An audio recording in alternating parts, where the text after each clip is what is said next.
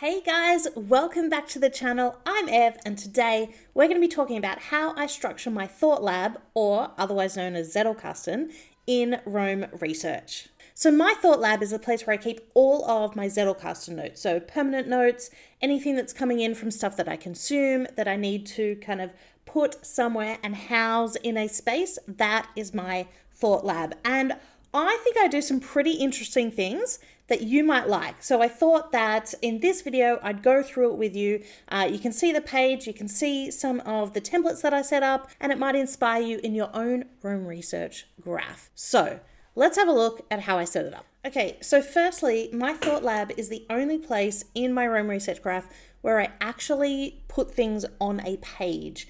Every other note that I create is created on a daily page and then referenced.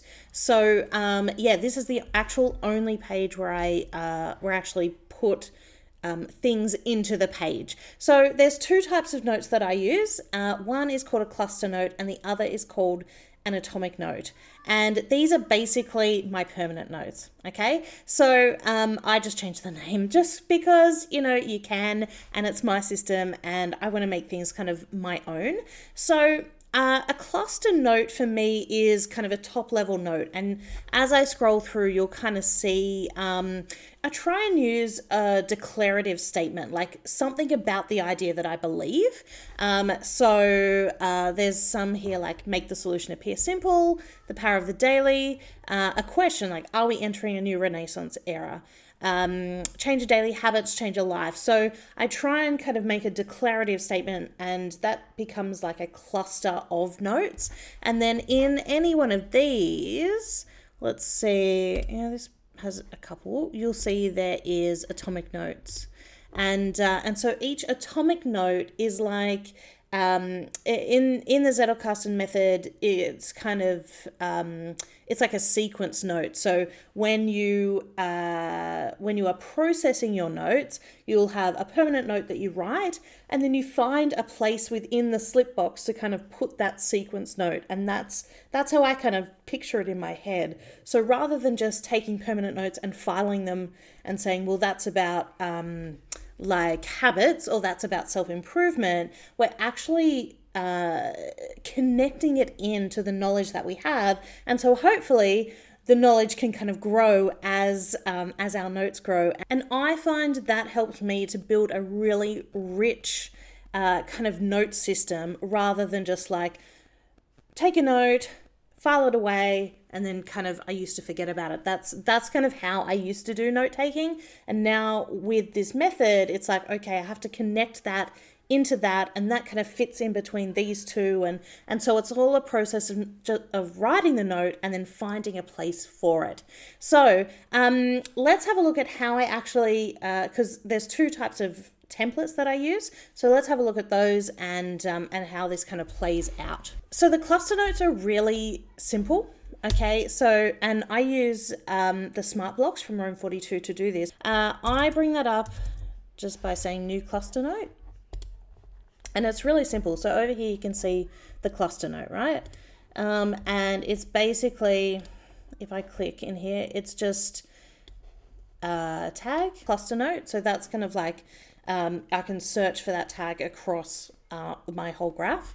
Then I have um, a place where I can actually put the page name into.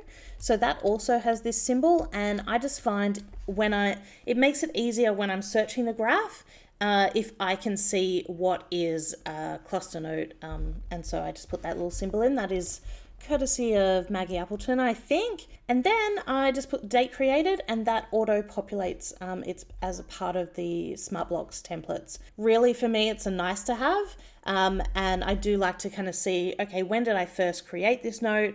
When was the last note? That kind of thing. I, I like to kind of see the, the trail of breadcrumbs.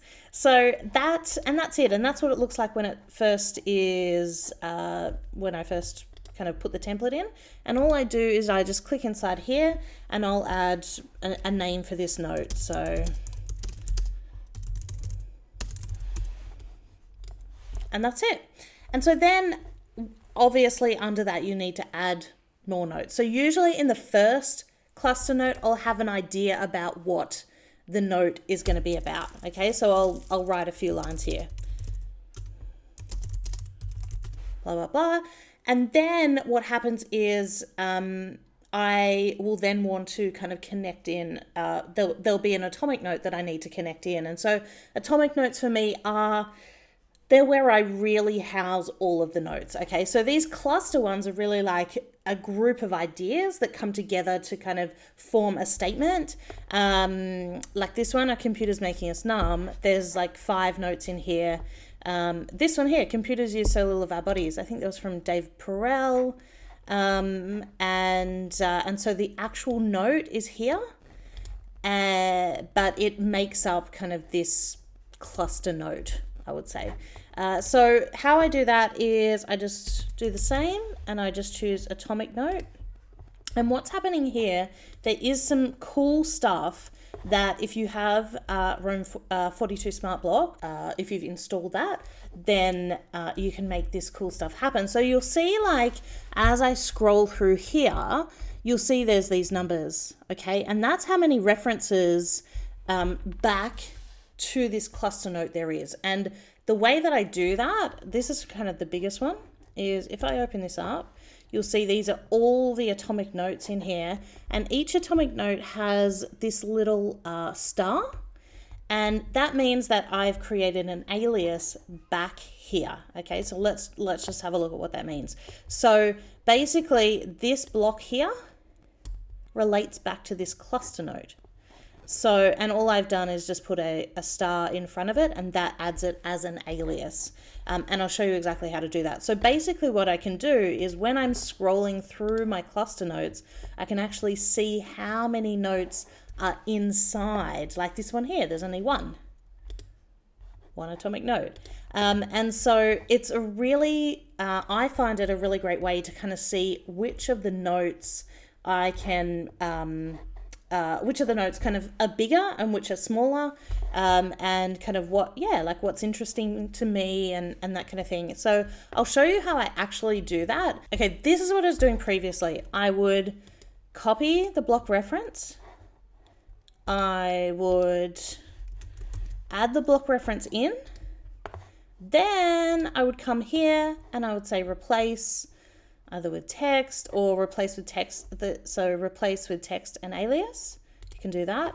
And that actually adds it as an alias. Okay, so that is that was the whole process before. And to be honest, that is annoying to do all of the time. Okay, so I had this idea. So in uh, with uh, 42 smart blocks, you can have these buttons, okay? And so if you have a look over here, right? Um, this is only going to make sense if we have a look in the actual template. So what happens is, it's actually so simple. So um, I created this uh, template that basically puts the um, this asterisk part and then it's got the uh, the brackets and then inside it will paste in the clipboard text. So then that's step one. So you have to create the actual template. Step two, I added the button. Okay, so um, this is a button uh, and it's part of the, um, if you have 42 smart blocks installed. So that's the name of the button. And then you just say what the smart block is. So smart block is the reference block, which comes from here. Okay, so what that does is now when I want to say, well, this is um, part of this cluster node, I just come here and I still do copy block ref, but then I just click the button. And so what happens is uh, I've got the reference here. That's a name for the cluster node. And then this has come up. So let me show you that again. Okay, so there's no number here. Okay, and I just go copy so that copies the clipboard text. And remember, this 42 smart block pastes that in automatically. And that's, that's just how it works. Um, this is honestly the most magical thing I've ever done.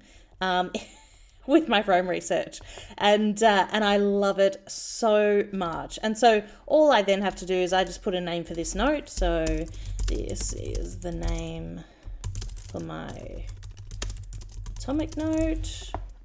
It's got the reference and then I just started writing the note. So as I'm kind of going through my writing inbox, I will, and this is kind of, uh, I, want to do another video on my writing inbox, but basically, I have all of my literature notes, which I call Spark Notes. So if I wanted to, let's say I needed to, I wanted to process this and it's going to be part of this note, all I do is I just alt and drag this into the meta. And so then I will write my notes. And then once it's done, I then uh, click it as done. It goes out of my writing inbox because I've processed it. And so it just uh, gives me context when I'm looking at this note to know, oh, yeah, that came from that particular book or that particular note that I wrote or that thing that I watched, that kind of thing. So it just allows me to kind of work my way back to where it actually came from. And that's it. That's how I process uh, all of my permanent notes into what I call the Thought Lab. And it's where I keep all my permanent notes. It is fantastic. I, I really love processing notes in Roam um, and kind of finding a place for them. That's one of my favorite things. It's like, okay, you take something from the writing inbox and you kind of look for a place um, to insert it and connect it into what you already know and it really becomes a part of you. And so guys, thank you for watching. I hope this was really helpful and that you've walked away with some cool ideas um, for your own Roam Research graph. If you liked this video, make sure you give it a thumbs up and please leave a comment. I always love reading your comments. And um, if you want to uh, continue the conversation or you have a question or anything like that, reach out to me on Twitter. My DMs are always open and I love to have conversations about this kind of stuff. See you guys.